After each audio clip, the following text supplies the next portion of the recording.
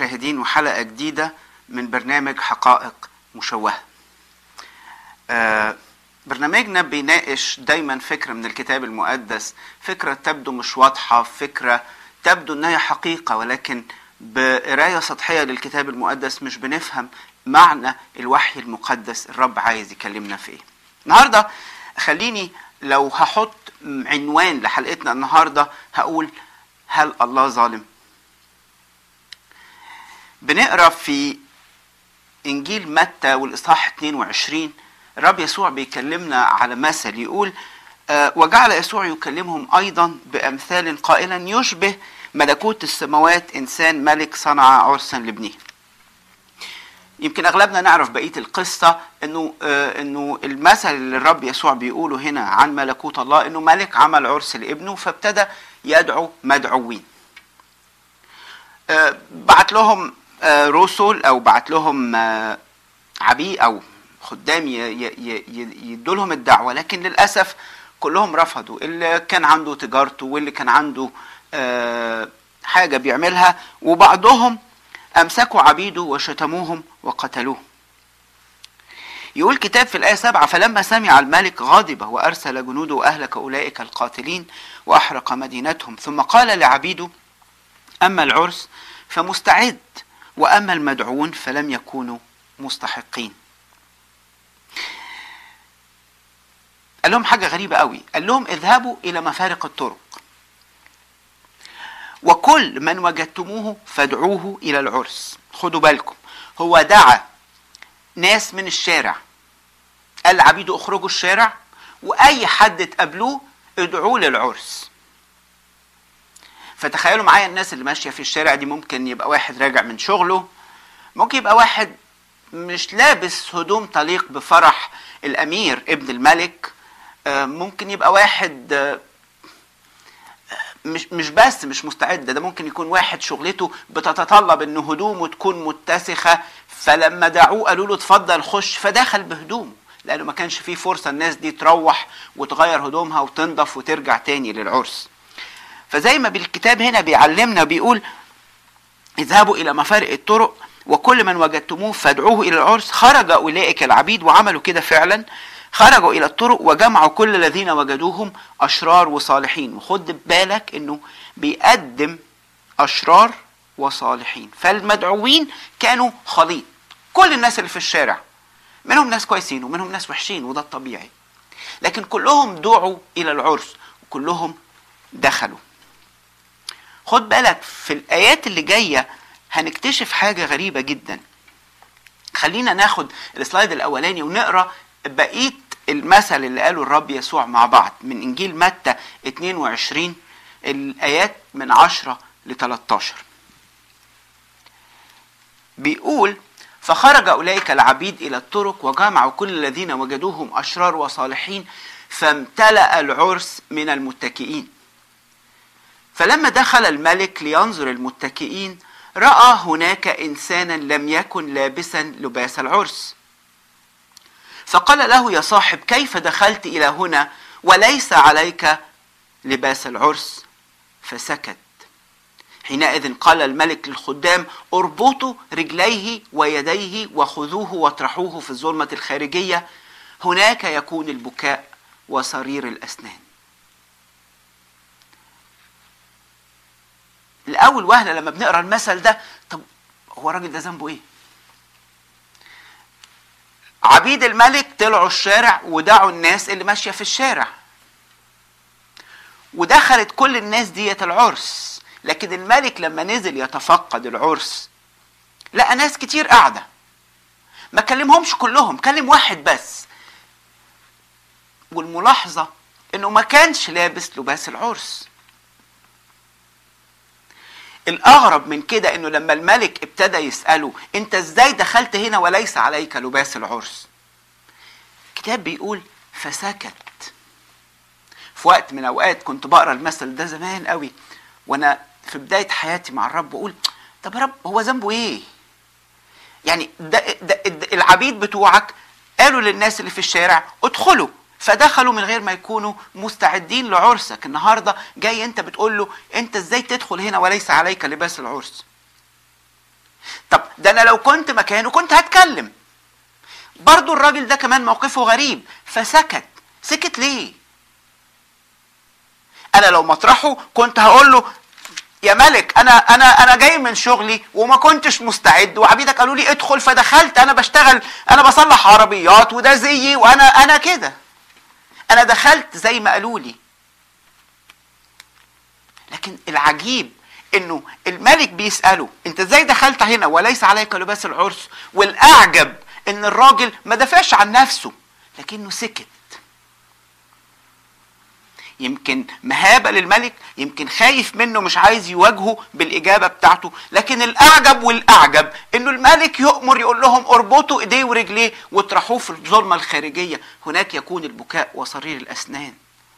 لا ده أنا لو مطرحه وكنت مكسوف شوية من الملك لما هيربطوا إيديا ورجليا يقولوا يطلع بره. لا ده أنا هزعق. يا جلالة الملك أنا عايز العدل. يا جلالة الملك ده أنا ده أنا جاي من شغلي وجاي بهدومي. أعمل لك إيه؟ العجيب إن الراجل سكت واتحكم عليه. الراجل ده لو كان مظلوم كان هيتكلم. غريب إنه ما اتكلمش. سؤالنا النهارده هل الملك في الموقف ده ظالم؟ وإذا كان المثل ده هو بيقول يشبه ملكوت السماوات فالتشبيه إحنا بنفهم من سياق الكلام إنه الملك هو الله. هو بيرمز لله في المثل ده. الكتاب بيقول الله ليس بظالم. لكن إيه معنى الكلام اللي مكتوب هنا؟ خلينا آه نحاول مع بعض نفهم إيه فكر الله. الروح القدس عايز يقول لك إيه؟ الروح القدس عايز يكلمك من خلال المثل ده. المسيح لما قال المثل ده كان بيعني حاجة. ومستحيل يكون قصده إن الله ظالم. أول سؤال أو أول حاجة عايزين ندور عليها هو إيه لباس العرس ده؟ هل يعني أنا مش لابس بدلة مثلا أو كان المفروض أعمل يعني إيه هو لباس العرس؟ عشان أفهم لباس العرس آه خليني أقول لكم حاجة. علشان تفهم الكتاب لو في حاجة زي كده واجهتها ومش فاهم الكتاب يشرح بعضه. الرسول بولس يقول قارنين الروحيات بالروحيات. يعني إيه؟ يعني الكتاب المقدس لما يقول حاجة هتلاقي نفس الكتاب المقدس بيشرحها في موضع تاني. وده اللي إحنا هنعمله مع بعض. تعالوا نشوف لباس العرس في السلايد اللي جاية في الآية اللي جاية من آه من رؤية يوحنا اللاهوتي والإصحاح السادس. هنقرأ مع بعض رؤية ستة والآية 11 يا ريت أخونا المخرج نشوف مع بعض الآية دي. يقول كده الناس اللي كانوا اللي قتلوا من أجل إيمانهم يقول أعطوا كل واحد ثيابا بيضا وقيل لهم أن يستريحوا زمانا يسيرا أيضا حتى يك حتى يكمل العبيد رفقائهم واخوتهم أيضا. فأعطوا كل واحد ثيابا بيضا. تخيل معي العرس كده وهم داخلين في ملائكة أو في عبيد الملك واقفين على الباب وكل واحد داخل بيقولوا له آه إيه ده؟ ده؟ أنت جاي من الشغل صحيح مش هينفع تحضر العرس بتاع بتاع الأمير بالهدوم اللي أنت لابسها دي. اقلع اقلع خش في في أوضة التغيير الملابس دي وخد لباس العرس. غير هدومك. واعطوا كل واحد ثوب أبيض. آه كده يبدو الموقف واضح. يبقى لما الملك ما عاتبش كل الناس كلهم كانوا لابسين ثياب العرس. لكن في واحد لوحده رفض إنه يلبس ثياب العرس. آه كده ابتدت الصورة توضح شوية. ثياب العرس دي الرب دي الرب اللي بيديها لك. ثياب العرس دي حاجة أنت مش تستحقها دي حاجة مش أنت بتعملها من مجهودك دي مش حاجة أنت هتروح تجيبها من بيتكو وتلبسها عشان تحضر الفرح. لا. دي حاجة الملك هو اللي بيديها ثياب العرس الملك هو اللي بيديها مجانا. تقول لي طب برضو أنا مش فاهم إيه ثياب بيض؟ يعني يعني إيه ثياب بيض؟ الآية اللي جاية في رؤية سبعة خد بالك إحنا كنا بنقرأ رؤية ستة بيشرحها في رؤية سبعة. رؤية سبعة من 13 ل 14 خلينا نقراها مع بعض في ال... في السلايد اللي جاية. أنا عايز أقول لكم النهاردة هنقرأ آيات كتير لكن كلها بتشرح أمور رائعة في غاية الروعة خلينا نقرأ مع بعض رؤيا يوحنا اللاهوتي سبعة يقول وأجاب واحد من الشيوخ قائلا لي هؤلاء المتسربلون بالثياب البيض من هم؟ ده واحد من الشيوخ بيكلم يوحنا الرائي بيسأله مين دول اللي لابسين ثياب بيض ومن أين أتوا؟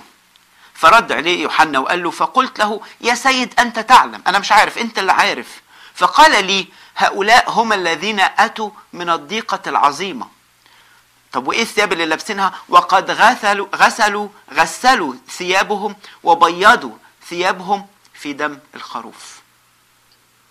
آه كده. ابتدت الصورة توضح أكتر. إنه الثياب البيض دي دي بر المسيح. إنه أنا خاطي المدعو ده كان المدعو ده إيش؟ الكتاب بيقول أشرار وصالحين. لما نزلوا الشارع عبيد الملك ودعوا دعوا أشرار وصالحين ودخلوهم وكلهم لبسوا ثياب الملكية ثياب الملك الثوب الأبيض.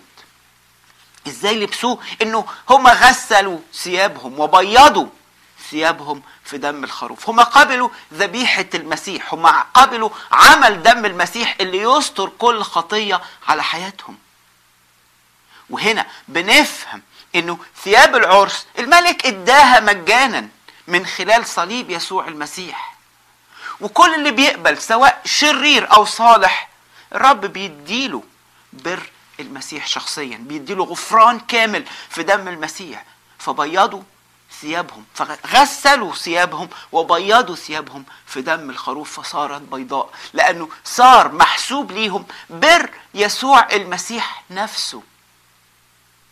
فكانوا مؤهلين إن هم يحضروا عرس الملك. بنفهم دلوقتي إن الراجل اللي ما كانش لابس ثياب العرس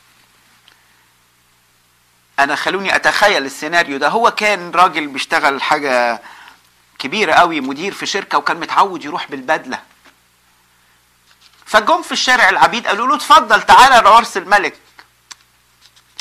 آه تعالى اتفضل. وهو داخل قالوا له خد ثياب العرس البسها. قال لهم لا لا لا ما أنا أنا لابس كويس. أنا لا أنا لابس بدلة كويس. أنا لابس نظيف. أنا أنا مستعد للعريس. أنا مستعد للفرح. أنا مش زي أخونا الميكانيكي اللي بيصلح عربية آه لا هو مع احترامنا لشغلة الميكانيكي كلنا محتاجين لها. لكن هو هدومه ممكن تبقى مش نظيفة. لكن أنا أنا هدومي نظيفة. ما قبلش إنه يلبس يلبس ثياب العرس. ما قبلش إنه يقبل عمل دم المسيح على حياته ودخل.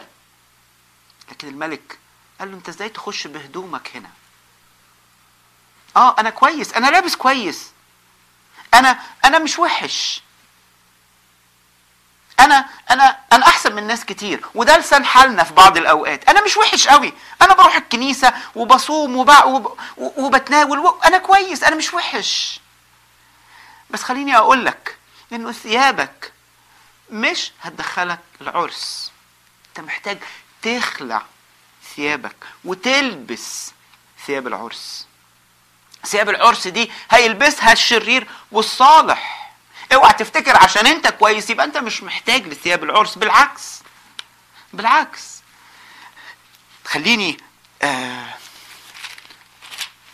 من الكتاب معاكم آه من لوقا 18 مثل قاله الرب يسوع على الراجل بتاعنا ده اللي إحنا بنتكلم عليه. لوقا 18 هقرأ من العدد 10 أو من الآية 9 يقول إيه؟ وقال المسيح لقوم واثقين بأنفسهم أنهم أبرار ويحتقرون الآخرين الآخرين. هذا المثل. قال لهم إيه؟ إنسانان صعدا إلى الهيكل ليصليا واحد فريسي والآخر عشار أما الفريسي فوقف يصلي في نفسه هكذا. اللهم إني أشكرك أني لست مثل باقي الناس الخاطفين الظالمين الزناه ولا مثل هذا العشار. أصوم مرتين في الأسبوع وأعشر كل ما أقتنيه. وأما العشار فوقف من بعيد لا يشاء أن يرفع عينيه نحو السماء بل قرع على صدره قائلا اللهم ارحمني أنا الخاطئ. أقول لكم إن هذا نزل إلى بيته مبررا دون ذاك لأن كل من يرفع نفسه يتضع ومن يضع نفسه يرتفع. اوعى تفتكر إنه صلاحك ممكن يكون بيخليك تكون مؤهل للملكوت اطلاقا. المسيح كان واضح في المثل اللي قريناه في في متى 22 إنه المدعوين كانوا أشرار وصالحين والاثنين كان لازم يكونوا بيلبسوا ثياب العرس. والشخص اللي رفض يلبس ثياب العرس ظنا منه إن هو صالح إن هو عمله كويس إن هو هدومه كويسة تليق بالملك. ملك وجهه وقال له إزاي دخلت إلى هنا وليس عليك لباس العرس؟ فسكت لأنه ما كانش عنده حجة يقولها.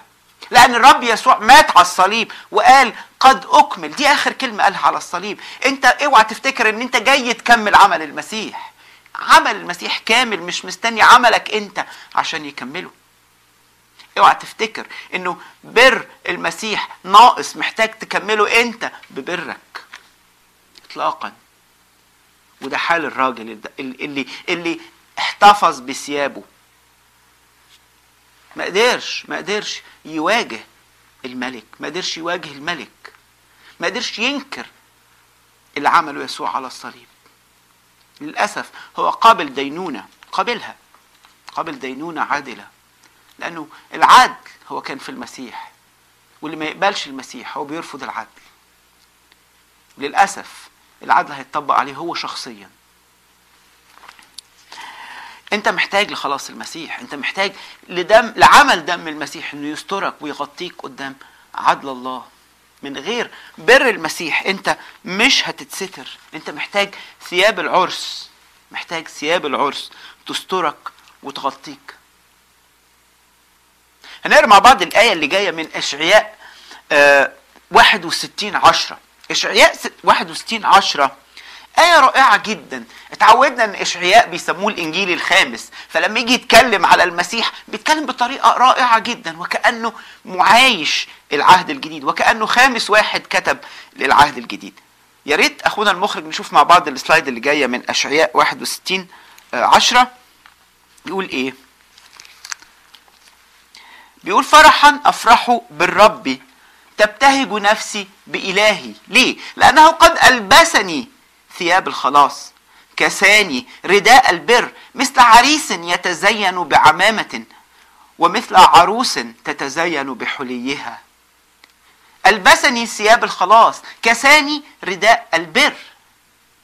الرب بي بي بيلبسك وكأن أنت العريس. وكأن أنت العريس كأن أنت العروس يزينك ببر المسيح. كساني رداء البر ألبسني ثياب الخلاص. أنت ليك في الخلاص ليك بر يسوع. هو ده ثياب العرس. هو ده الأشعياء النبي بيقول عنه. ال ال ال كساني رداء البر وألبسني ثياب الخلاص. هو ده اللي قال عليه الرب يسوع في المثل بتاع متى 22 هو ده ثياب العرس. هي دي الثياب البيض اللي لبسوها كل اللي, اللي اتكتب اسمهم في سفر حياة الخروف.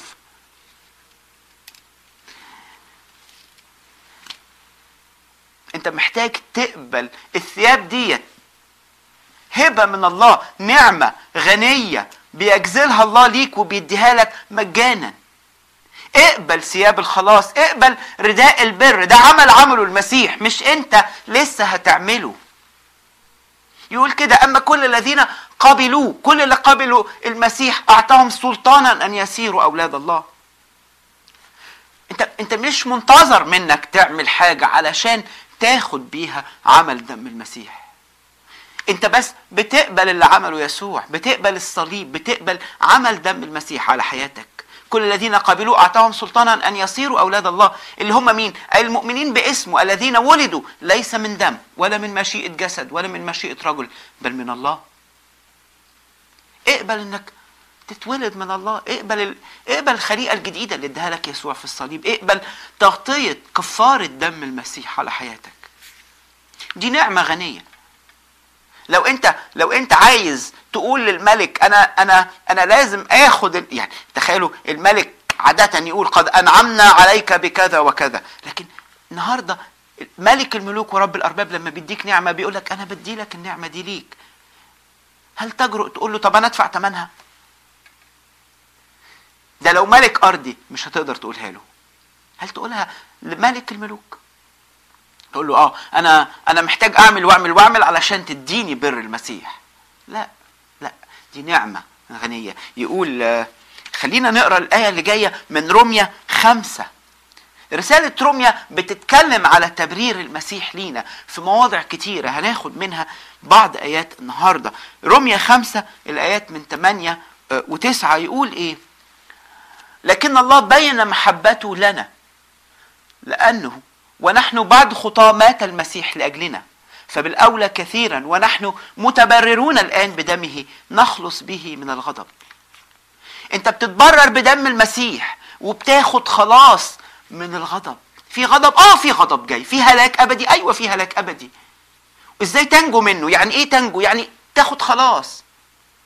اللي بيغرق إزاي ينجو؟ حد ينزل يشيله من الغرق اللي هو فيه. اللي بيموت في إيده إيه يعمله؟ محتاج طبيب يجي ويشفيه. هو ده اللي عمله يسوع. أنت مش عندك حاجة تعملها. وما لا تملك شيء تديه عوضا عن صليب المسيح. اقبل بر المسيح. اقبل خلاص من الغضب. هنطلع فاصل مع بعض ونكمل موضوعنا عن عمل دم المسيح وخلاصه. نراكم بعد الفاصل.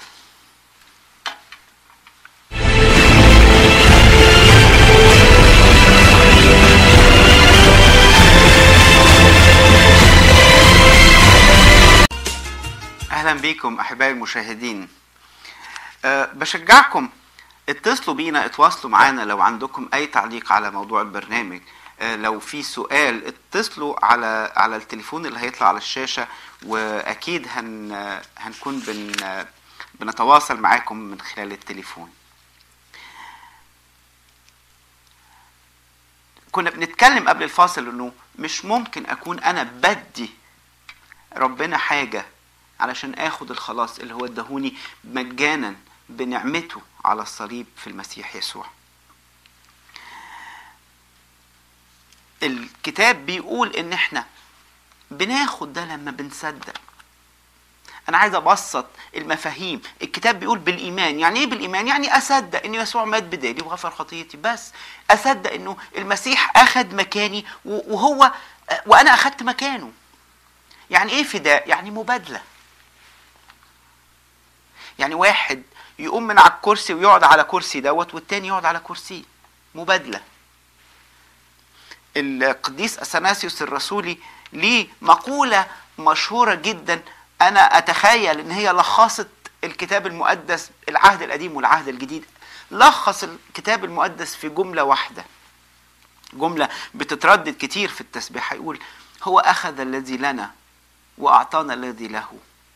المسيح خد اللي لينا وأعطانا الذي له. مبادلة. يعني إيه فداء؟ يعني مبادلة. هو أخذ اللي ليك واداك كل اللي ليه. هو ابن. صرت أنت ابن. صرتي أنت بنت وارثة. أنت ليك ميراث المسيح. أنت ليك حياة المسيح. اسمها حياة لا تنت... دي حياة المسيح. حياة منتصرة؟ طبعا. حياة أبدية؟ مية في المية. حياة مع الآب السماوي؟ طبعا. يقول أجلسنا معه في السماويات في المسيح يسوع. أنت مكانك في السماء. سيرتنا هي في السماويات. يقول إن المسيح صار لعنة لأجلنا لأنه مكتوب ملعون كل من علق على خشبة. فخد اللعنة اللي جاية على حياتك. وباركنا بكل بركة روحية في السماويات زي زي ما أفسس واحد بيقول. خد العار خد الخطية خد أصل ال ال ال العار اللي على حياتي اللي هو أصل الخطية. واداني بره. أخذ الذي لنا وأعطانا الذي له. لو قبلت ده لو صدقت ده أنت أنت هتقول لي طب ما أنا مآمن بالمسيح. الموضوع يعني إيه مآمن؟ ما الشياطين يؤمنون ويقشعرون. لكن هل أنت عارف إنه خلاصك دوت فعلا بينطبق عليك؟ هل خلاص المسيح حقيقي في حياتك؟ النهارده تقدر تقول إن ليك الخلاص دوت؟ تقدر تقول إن أنا نلت خلاص يقول كده الكتاب نلنا خلاصا ثمينا. إحنا إحنا نلنا. الكتاب المقدس بيقول نلنا خلاصا. أفتكر مرد الشماس قبل التوزيع في القداس لما يقول إيه؟ لما يقف كده وينده بصوت عالي في وسط الكنيسة يقول خلصت حقا ومع روحك أيضا. ننصت بخوف الله. هما مردين في الواقع وبيتربطوا ببعض لكن المرد الأولاني خلصت حقا. في الغريغوري بيكلم فيه الشعب في الكرولوسي بيكلم فيه الكاهن. خلصت حقا. بحسب القداس الغريغوري بالجمع خلصت حقا. انت نلت خلاص المسيح دفع ثمنه غالي على الصليب وانت مش متوقع ومش منتظر منك تعمل أمر زيادة. تقول لي ما أنا لازم أثبت له إن أنا كويس فأعمل حاجات كويسة كده فيشوفني كويس فيقول لي طب خلاص ليك حياة أبدية. انت عارف لو عملت كده انت بتاخد إيه؟ انت مش هتاخد حياة أبدية انت هتاخد لعنة أبدية. تقول لي إيه ده؟ حد يقول كده؟ أقول لك إزاي. في آية مشهورة أو هي آية آه، بتتقال بطريقة مشوهة. يقول لك إيه؟ ملعون كل آه sorry يقول آه ملعون من اتكل على ذراع بشر. هي ما فيش آية بتقول كده في الواقع في الكتاب المقدس لكن خلينا ال slide الجاية نقرأ مع بعض أرمية الآية الأصلية اللي, اللي الناس اتعودت تقول ملعون من اتكل على ذراع بشر. أرمية 17 والآية 5 يا ريت نقراها مع بعض آه، على السلايد اللي جاية. أخونا المخرج يقول هكذا قال الرب ملعون الرجل الذي يتكل على الإنسان ويجعل البشر ذراعه وعن الرب يحيد قلبه. ملعون الرجل الذي يتكل على الإنسان ويجعل البشر ذراعه. هتقول لي آه ده بيتكلم على إن أنا ما اتكلش على البني آدمين. ما أنت لو اتكلت على عملك أنت بتتكل على بني آدم أنت بتتكل على ذراعك. ده يجيب لك إيه؟ يجيب لك لعنة. لو انت متخيل ان المسيح هيدي لك خلاصه علشان انت عملك كويس يبقى انت مش عارف يعني إيه النعمة.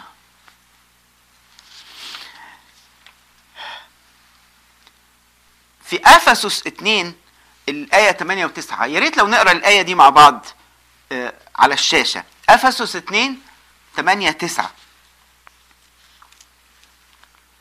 ممكن أخونا المخرج نقرأ مع بعض أفسس 2 من 8 ل 9 أشكرك. لأنكم بالنعمة مخلصون بالإيمان وذلك ليس منكم هو عطية الله. ليس من أعمال كي لا يفتخر أحد. بالنعمة أنتم مخلصون بإيه؟ بالإيمان. ليس منكم دي عطية الله دي مش حاجة أنت هتعملها. طب لو أنا حاجة هعملها يبقى أقدر أفتخر على الله. لكن ليس من أعمال كي لا يفتخر أحد. النهارده أنا هاخد لأن أعمالي كويسة غيري مش هيقدر ياخد لأن أعماله وحشة. فانا أقدر افتخر على حد تاني مش قادر ياخد.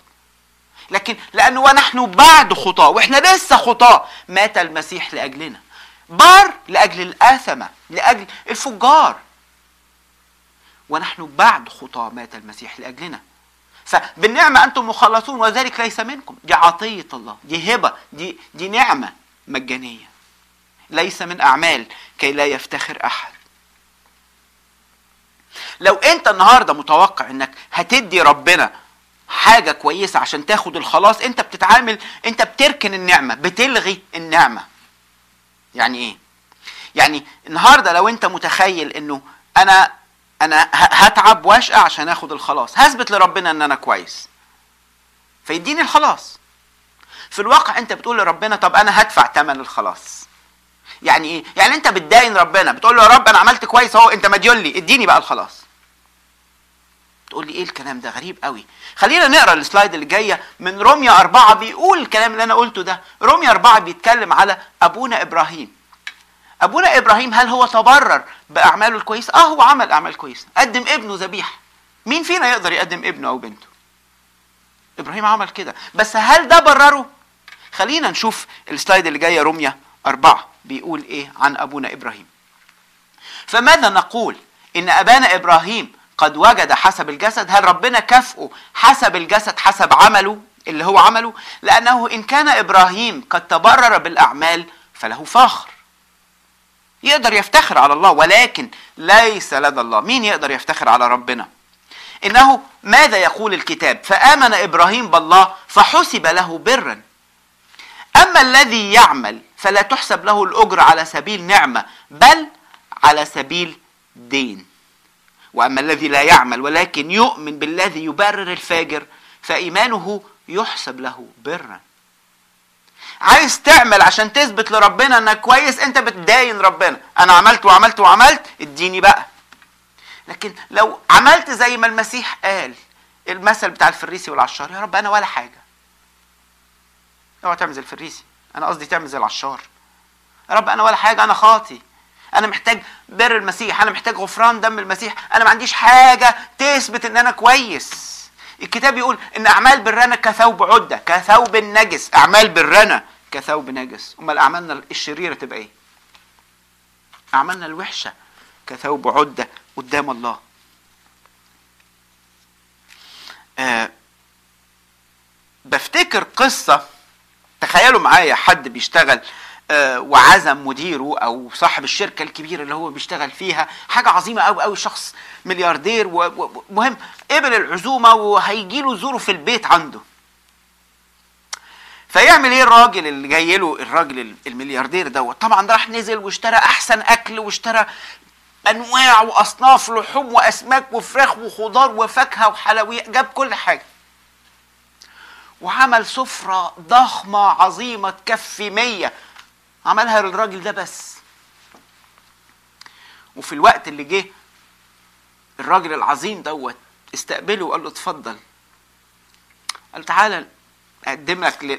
تعالى نتعشى تعالى شوف أنا تعبت أنا عملت لك قد إيه؟ بص السفرة دي كلها أنواع وأشكال أنا كلها عملتها بإيديا دول.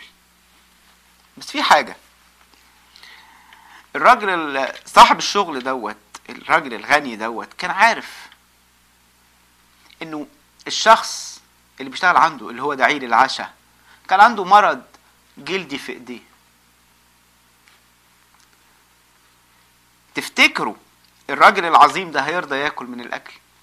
أكل غالي وثمين لكن الإيدين مريضة اللي اتقدمت بيه. الإيدين فيها نجاسة. الإيدين عملت خطية. هتقدم إيه بإيديك لله؟ هتقدم إيه كويس بإيديك؟ عملته إيديك لله. دي إيديك اتلوثت بالشر. هتقدم له إيه كويس بعد اللي بتعمله؟ استقبل النعمة الغنية. وما ترفضش ما ترفضش هبه الله لأنه لأنه دي نعمة بيديها لك الملك. اقبلها. ما تتكبرش وتقول أنا كويس. ما تكبرش ما تكبرش على على الله لا يشمخ عليه. يا إخواتي الكتاب بيقول كده الله لا يشمخ عليه. ما تتكبرش على ربنا وتقول أنا عملي كويس. أنت محتاج تقبل خلاص المسيح. أنت محتاج عمل دم المسيح يسترك. السلايد اللي جاية بتنبهنا لأمر خطير. رمية 11 6 بيتكلم على ال ال ال ال النعمة. إزاي إن أنا باخدها بالإيمان؟ إزاي؟ إيه النعمة وإيه العمل؟ لو قبلت النعمة أنت بتلغي بتقول لربنا مش جاي لك بعملي. لكن لو سلكت مع الله وقلت له أنا بعملي جاي لك أنت بتلغي النعمة تماما من حياتك. خلينا نقرأ مع بعض السلايد اللي جاية رميه 11 والآية 6 أخونا المخرج please thank you فإن كان بالنعمة فليس بعد بالأعمال وإلا فليست النعمة بعد نعمة وإن كان بالأعمال فليس بعد نعمة. وأما وإلا فالعمل لا يكون بعد عملا. خلينا نقراها تاني أنا عارف هي العربي شوية صعب. فإن كان بالنعمة فليس بعد بالأعمال وإلا فليست النعمة بعد نعمة. وإن كان بالأعمال فليس بعد نعمة وإلا فالعمل لا يكون بعد عملا. يعني باختصار كده هو عايز يقول إن لو أنت هتسلك مع الله بالعمل عايز تثبت له إنك كويس بعملك أنت بتلغي تماما النعمة. ما ينفعش الاثنين مع بعض. ما ينفعش تقول أنا هستقبل النعمة بس هوري له عملي في نفس الوقت. لا. الرسول بولس بيقول يا دي يا دي. مش هيشتغلوا الاثنين لو بالنعمة يبقى أنت قفلت على باب الأعمال. لو بالأعمال يبقى أنت قفلت على باب النعمة. مش هينفع الاثنين يمشوا مع بعض. السلايد اللي جاية هي خلينا نشرح مع بعض كده الفكرة إنه الكتاب بيقول في السلايد اللي جاية بيقول لنا الكلام دوت بيقول إنه النعمة عكس الأعمال. خلينا نشوف السلايد اللي جاية بتقول النعمة ما ينفعش الاثنين يتقابلوا ما ينفعش يبقى النعمة وعملك مش هينفع. يا النعمة يا الأعمال. تقول لي إيه ده؟ يبقى أنت كده بتلغي كل الأعمال. أنت ها أنت ونقعد نتخانق ونقول هي النعمة ولا الأعمال؟ ويقول لك لا دول بيقولوا الأعمال ودول بيقولوا بالإيمان وبالنعمة وبنقعد نتخانق مع بعض ومش عارفين مين اللي صح ومين اللي إيه ومين بيقول إيه. يا جماعة افهموا الموضوع بسيط جدا. لو أنت هتتعامل مع الله بعملك أنت مرفوض تتعامل مع الله بالنعمة طب عملي ده إيه؟ عملك دوت علشان الناس تشوفه. فتمجد أبوكم الذي في السماوات خلاص بتاخده بالنعمة. مش بعملك. طب إيه دور عملي؟ ده علاقتي مع الناس. السلايد اللي جاي هتورينا دوت. السهم اللي طالع من النعمة للرب ده ده طريقة اللي أنا هوصل بيها لربنا. هقبل خلاص المسيح من خلال النعمة. طب إيه هي الأعمال؟ هي هي الشهادة. الناس هتشوف وتقول آه آه ده, ده فعلا الشخص ده مختلف. ليه؟ لأنه محدش بيعمل كده. الناس عايزة تشوف مثل. الناس لانها لأنها خاضعة لحاجة تانية. خليني أقول إنه إنه الناس خاضعة لرئيس هذا العالم فمش بتسلك باستقامة. الناس عايزة تشوف مثل جيد. الناس بتتوقع في المؤمنين أولاد وبنات الله إنه يكون سلوكهم مختلف. وده يدي المجد لربنا. الناس عايزة تشوف حد كويس. مزمور زمان يقول قد انقرض التقي. عارفين الديناصورات؟ حاجة زي التقي ده عامل زي الديناصور. اخت... انقرض من زمان. قد انقرض التقي. لكن الرب بيقول لك أنا لما تقبل خلاصي بالنعمة أنا هغير حياتك. فتصير أعمالك شاهدة عني كابن لله كبنت لله. الناس تشوف عملك فتنبهر وتقول آه إن الله بالحقيقة فيكم زي الرسول بولس ما بيقول. إن الله بالحقيقة فيكم. خلينا نطلع فاصل ونرجع نكمل تاني نشوف إيه دور الإيمان إيه دور النعمة وإيه دور الأعمال. هنعيشها في ضوء الكتاب المقدس وإعلان الوحي المقدس. بيقول لنا إيه؟ أراكم بعد الفاصل.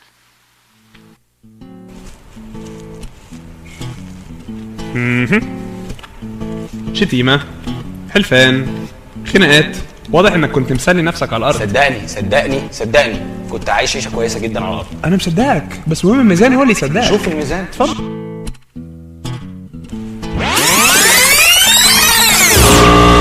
إزاي؟ على فكرة بجد أنا كنت عايش عيشة كويسة. اتفضل. الورق الأبيض ده كتير. من هنا من فضلك إيه ده؟ اللي بعده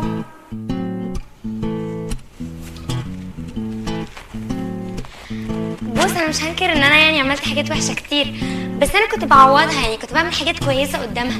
يعني مثلا مثلا مرة غشيت امتحان وبعدين أول ما طلعت لقيت ست عجوزة محتاجة فلوس فاديت لها فلوس. ده المفروض يعني يعوض صح؟ والسرقة والشيشة ما أنا- والسجاير. ما أنا كنت بعوض كأن المفروض يعوض صح؟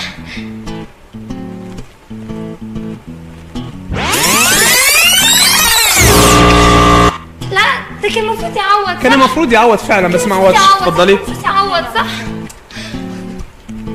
اللي بعده.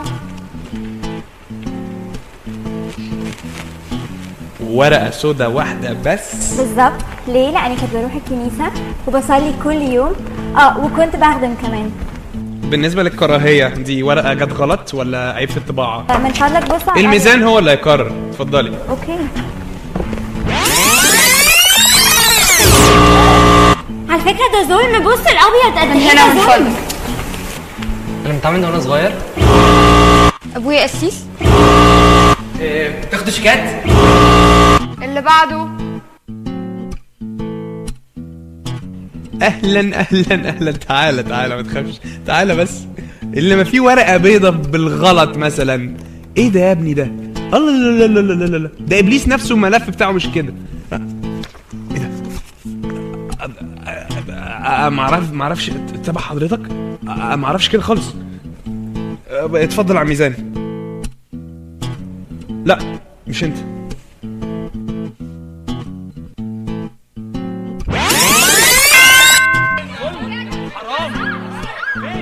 مش ورق أبيض. إيه ده؟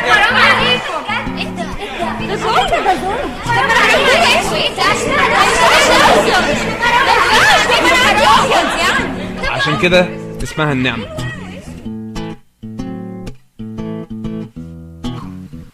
عايز أفكركم المثل اللي كنا بنقراه مع بعض في أول الحلقة من متى 22 الله ليس بظالم. إنه اللي اللي كساهم برداء ال- الخلاص اللي كساهم بثياب البر اللي كساهم بثياب العرس هم دول بس اللي ليهم خلاص. وده مش لأن أعمالهم كانت كويسة. لكن لأنهم قبلوا خلاص المسيح زي ما قلنا أما كل الذين قبلوه فأعطاهم سلطانا أن يصيروا أولاد الله أي المؤمنين باسمه. آه، طيب النعمة ولا الأعمال؟ وبنسمع الخناقة دي كتير وبنتخانق مع بعض وجسد المسيح بيقطع في بعضه ونقعد نتكلم على بعض ونقول هي كده ولا هي كده خليني أعيدها تاني النعمة هقبل بيها خلاص المسيح. دي مش حاجة ما فيهاش تفاهم دي ما فيهاش ما فيهاش مناقشة. أنا هقبل خلاص المسيح بالنعمة بالنعمة أنتم مخلصون وذلك ليس منكم بالإيمان. هو عطيه الله ليس من أعمال كي لا يفتخر أحد. طب إيه هي أعمالي الكويسة؟ هي سلوكي الناتج عن إيماني اللي بيشوفوه الناس. أعمالي لا تبررني قدام الله. السلايد اللي جاية هنقرأ آية مع بعض. اللي أنا كنت بقولها دلوقتي خلينا نقراها تاني. إفسس 2 والآيات من 8 ل 10 يقول لانكم بالنعمة مخلصون بالإيمان وذلك ليس منكم. هو عطية الله ليس من أعمال ليس من أعمال كي لا يفتخر أحد. لأننا نحن عمله مخلوقين في المسيح يسوع لأعمال صالحة قد سبق الله فأعدها لكي نسلك فيها. يمكن الآية دي بتوضح ال- المبدأ إنه ليس من أعمال كي لا يفتخر أحد بالخلاص بيتكلم على الخلاص بالنعمة. ليس من أعمال كي لا يفتخر أحد. وبعدين الآية اللي وراها على طول يقول لنا إحنا عمله عملنا علشان أعمال صالحة قد سبق فأعدها لكي نسلك فيها. خليني أقول لك إنه إنه إنه عملك مش بيديك خلاص. طب هتقول لي إيه هي الأعمال؟ أقول لك زي ما في سلوكك هو هو ده ربنا هيديلك إنك إنك لما تقبل الخليقه الجديدة الرب هيحط على قلبك أعمال هو قد سبق فأعدها لكي تسلك فيها. أنت ما قبلتش الخلاص بعملك. يبقى لما يجي حتة الخلاص لأنكم بالنعمة مخلصون ذلك ليس منكم هو عطية الله ليس من أعمال. طب قبلت الخلاص يقول إنك هتبقى مخلوق في المسيح يسوع لأعمال صالحة قد سبق الله فأعدها لكي تسلك فيها. إنما هتيجي تقبل خلاص المسيح عشان عملك كويس هتترفض. 100% ما فيهاش شك. ما فيهاش شك. عايز أتكلم شوية عن الأعمال. السلايد من يعقوب 3 والآية 12 و13 يمكن طلعت على الشاشة. خلينا نشوفها تاني. آه، يعقوب 3 12 و13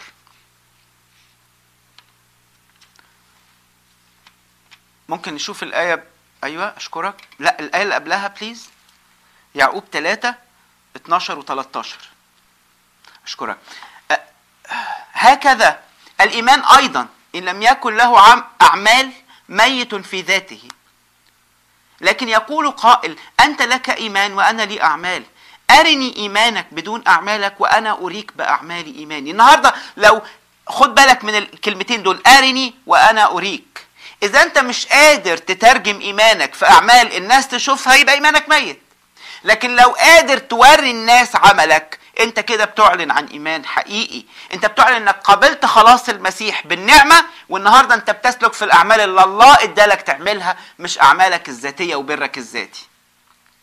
يبقى إيه هدف الأعمال؟ انه الناس تشوف ارني إيمانك بدون أعمال مش هتعرف. طبعا.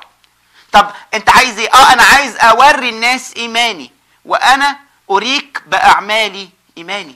يبقى إن النهارده أنا علشان أشوف الإيمان دوت أنا محتاج آه آه أنا محتاج أشوف من خلال عمل أنا محتاج أشوف من خلال آه حاجة الرب بيديني أنا أعملها.